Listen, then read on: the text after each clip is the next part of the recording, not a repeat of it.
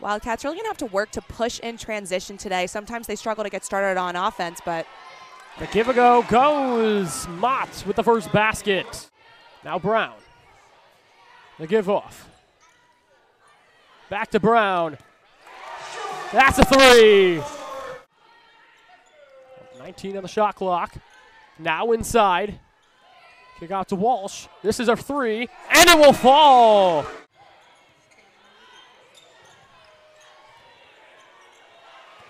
Lau has to go. Off the glass. Buzzer beater. The offensive rebound will fall for Northwestern. A three. That'll do it. Jillian Brown, the second chance opportunity. because of how Northwestern is playing aggressively on defense, and I think the Wildcats are doing exactly what they want right now.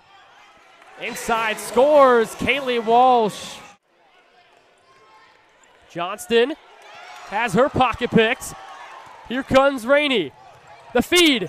It goes.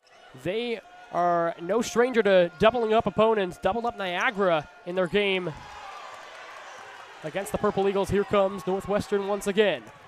Walsh inside, off the glass, scores. No foul there. Here comes Valpo in transition. Pitts a nice defensive front from Caileigh Walsh. Northwestern's pressing. Wood. The pull up goes. The easy score won't fall. Allie Saunders has had herself a mum afternoon. Wood driving inside. Count it and the foul.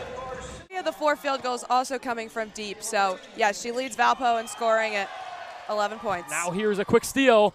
That one will go from Hartman. Lau and Northwestern will have 20 to work with here on this possession. The quick inbound.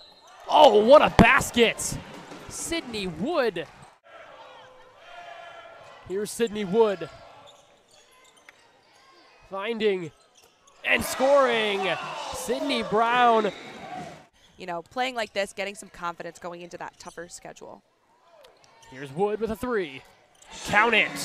Sydney Wood.